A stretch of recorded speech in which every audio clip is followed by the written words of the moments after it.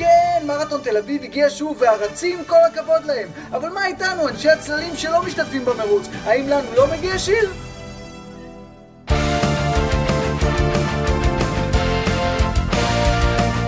אנחנו האנשים אשר עומדים במרפסות, מביטים בכם הרצים, וגם לנו בא לנסות, אבל אנחנו לא יכולים, ממגוון מגוון סיבות.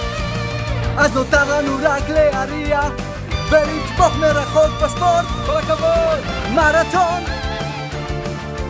מרתון תל אביב! כולכם מעולים! אנחנו האנשים אשר עומדים במרפסות, צועקים לכם הידד, אתם המלכים, אנחנו סתם רכיכות.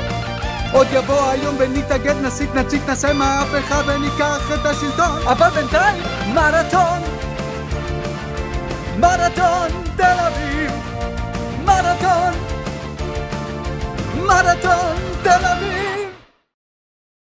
כולכם המנצחים.